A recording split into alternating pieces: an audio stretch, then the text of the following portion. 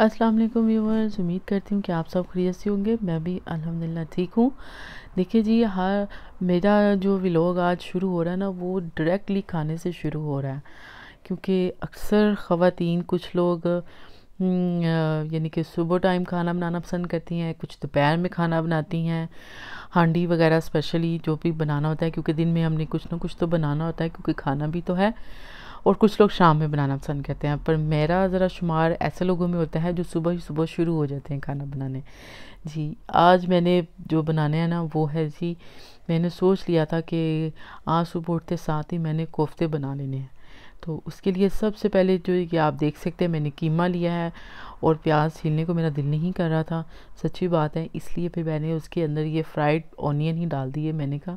और बाकी सारे मसाले डाल के तो मैंने सोचा फटाफट ज़रा आज बना लिए जाएँ कोफ्ते ताकि इनको कुछ तो बना के तो मैं फ्रीज़ करूँ क्योंकि फ्रीज़ फ्रीज़ इसलिए भी कहिए जाते हैं कि क्योंकि कोई चीज़ अगर फ्रिज में पड़ी हो तो फिर उसको बनाना भी आसान होता है।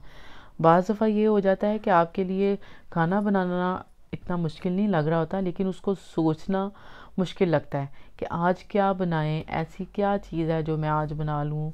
या अगर कोई चीज़ फ्रीज़र में जिस तरह के कोफ्ते बने हुए पड़े हों तो वो आप उसको निकालते हैं, मसाला बनाएँगे और वो खाना रेडी हो जाएगा। लेकिन जब उसके लिए आपको पूरा बनाना पड़ेगा फ़र्ज़ करें अगर मैंने पहले कोफ्ते इस तरह बनाने हैं, फिर मैंने उसकी हांडियाँ बनानी हैं, वो तो फिर मेरा सारा दिन नहीं लग जाएगा ना। इसलिए फिर मैंने सोचा कि चलें, आज ये लंबे वाला ज़रा काम शुरू करते हैं। और ये शुरू करके साथ साथ कोफ्ते बनाती हूँ और फिर साथ साथ आपसे बातें भी हो जाएँ ज़रा।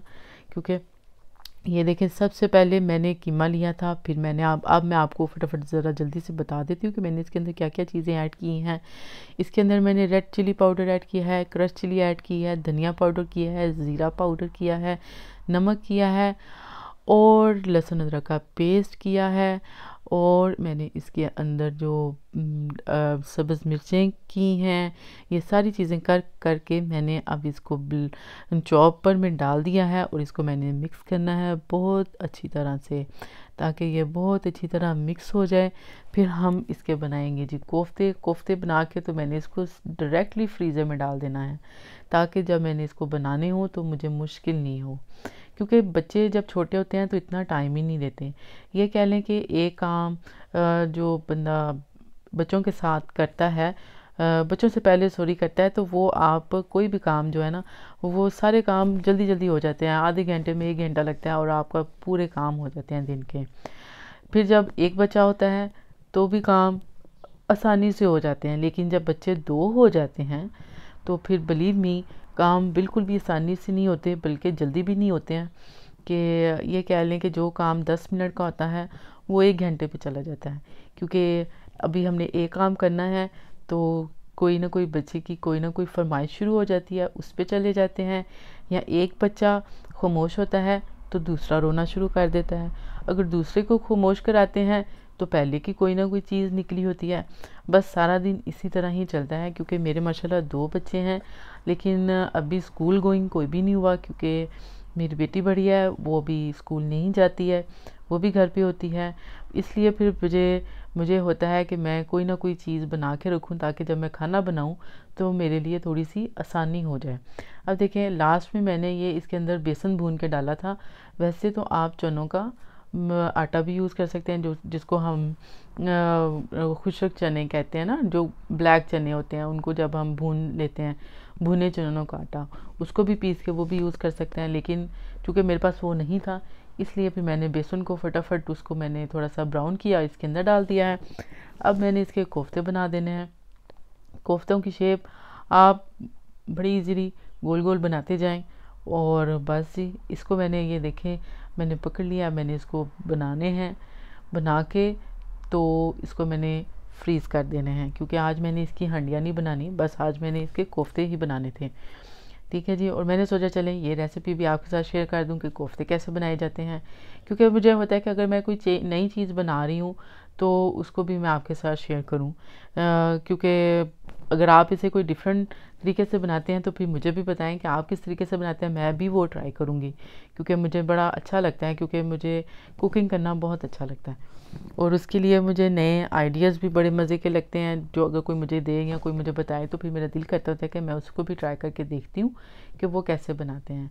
ये देखें जी, इसी तरह मैंने अब सारे कोफ्ते बना देने हैं। अब मैं आपको अगली जो आएगी ना, वो सारे कोफ्ते बना के दिखा रही हूँ कि मैंने ये सारे बना लिए हैं। अब ये थोड़ी देर में ही फ्रीज़र में चले जाएँगे। और फिर इसके बाद मैंने लेकर जाना था, हमने लेकर जाना था अपनी बच्चों को इंडोर प्लेग्राउंड में, क्योंकि बहुत अरसा हो गया था, ये मुझे घर में अब बहुत ज़्यादा तंग करती है। इसलिए मैंने सोचा, चलें, आज इसको थोड़ा सा बाहर ले जाते हैं, ताकि थोड़ा सा ये भी, इसकी भी थोड़ा सा इसके लिए भी थोड़ा सा चेंज हो जाए। वहाँ पे गई तो वहाँ पे और भी इतने प्यारे बच्चे आए हुए थे, ये देखें। और ये इतनी छोटी सी बच्ची थी, इतनी क्यूट लग रही थी कि पहले तो मुझे यकीन ही नहीं आया ये चल सकती है। पहले क्योंकि ये बैठी हुई थी, मैंने कहा शायद ये अभी नहीं चलती ना क्रॉलिंग करती हूँ। वो एकदम उठ के चलना शुरू हो गई। तो मुझे इतनी क्यूट लगी मेरा दिल किया कि चले मैं इसकी थोड़ी सी वीडियो ही बना लेती हूँ। ये आप देखें, यहाँ पे मेरी बच्ची भी माशाल्लाह खेल रही थी। और हम फिर थोड़ा सा बाहर निकले क्योंकि और भी बहुत सारे काम थे। इसलिए फिर मैंने अभी घर आना था क्योंकि हमारे घर में हमने एक आदमी को टाइम दिया हुआ था।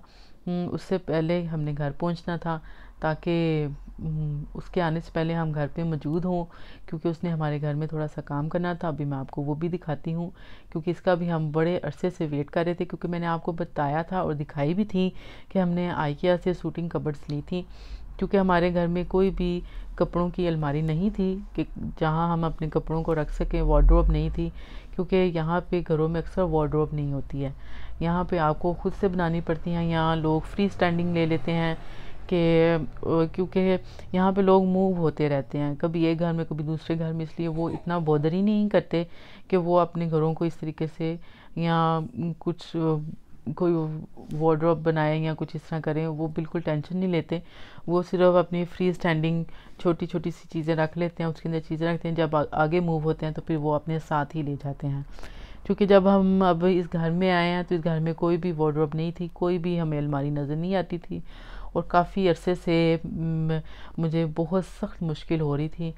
फिर हमने आइकिया से ऑर्डर किए हैं ये वाली, और मैंने आपको दिखाई भी थी कि अपने पिछले व्लॉग में मैंने आपको दिखाई थी कि हमारी आइकिया की आ गई थी, लेकिन उसके बाद फिर मसला जो शुरू हो गया था हमारे लिए वो ये था कि हमें इसको बनाने के लिए कोई आदमी नहीं मिल रहा था, क्योंकि पहले एक आदमी आया था तो उसने हाफ़ बनाई और फिर वो चला गया और फिर वो आया ही नहीं। उसके बाद फिर हमें बड़ी मुश्किल हुई, फिर हमने दोबारा से आदमी ढूंढना शुरू किए क्योंकि यहाँ पे लेबर बहुत बहुत महँगी भी है और फिर मिलती भी नहीं है क्योंकि उनके पास टाइम ही नहीं होता। क्योंकि एक हमने और पता किया तो उसने हमें कहा कि मैं आपको नेक्स्ट मंथ में बना के दूँगा, यानी कि आपको एक डेढ़ महीना और इंतज़ार करना पड़ेगा। तो फिर उसके लिए हमने कहा कि नहीं, ये ज़्यादा टू लेट हो जाएगा, हमें थोड़ा सा जल्दी चाहिए। फिर अल्लाह का शुक्र है, बड़ी दुआएँ मांगी तो फिर ये आदमी हमें मिला, इसने कहा कि भी मेरे पास ये टाइम है तो मैं आके बना देता हूँ। हमने कहा, बस आपके पास जो भी टाइम है ना, बस आप आके तो फटाफट हमारी अलमारियों को फिट कर दें। अब आप ये देखें, वो आदमी बड़ी जल्दी उसने माशाल्लाह काम किया था। बहुत तेज़ी से काम किया था और बड़ी जल्दी काम करके तो वो दो घंटे में उसने ये सारी बना के फ़िट करके तो वो चला भी गया था। और इसके लिए हमने तीन हफ्तों से हम इंतज़ार कर रहे थे, तीन हफ्तों से इंतज़ार में थे कि कोई आए, लेकिन बड़ा क्विक इसने काम किया और बड़ी अच्छी तरह से उसने, ये आप देख सकते हैं, फ़िट की हैं अलमारियाँ, जो कि बड़ी अच्छी भी लग रही थी। फिर उसके बाद मैंने यहाँ से सफ़ाई वगैरह की, कमरे को क्लीन अप किया, ताकि कमरा साफ़ सुथरा हो और मुझे भी अच्छा लगे। अभी मैं आपको अपने रूम की पूरी थोड़ी सी दिखाती हूँ कि कैसा लग रहा है। माशाल्लाह, बहुत प्यारा लग रहा था। और मुझे बेानतहा खुशी हो रही थी क्योंकि मेरी एक बहुत बड़ी मुश्किल जो थी कपड़ों की वो ख़त्म हो रही थी और मुझे बड़ा अच्छा लग रहा था कि शुक्र है मेरे लिए आसानी होगी अब मैं इजीली कपड़ों को रख सकती हूँ। और आप ये देखें, ये अब मेरा रूम है इसमें, क्योंकि ज़रूरत की चीज़ों की तो हर एक को ज़रूरत होती है और उसके लिए आपको कोई ना कोई एफ़र्ट तो करनी भी पड़ती है। क्योंकि अगर आप एफ़र्ट नहीं करेंगे तो फिर वो आपके पास कभी भी कोई भी चीज़ नहीं आ सकती। इसलिए एफ़र्ट तो शर्त है। ये है, ये था जी मेरा आज का व्लॉग उम्मीद करती हूँ कि आपको अच्छा लगा होगा। मुझे भी ज़रूर बताया करें और अपने लाइक्स और कमेंट्स भी दिया करें। मैं इंतज़ार करती रहती हूँ। ओके जी, अल्लाह हाफिज़।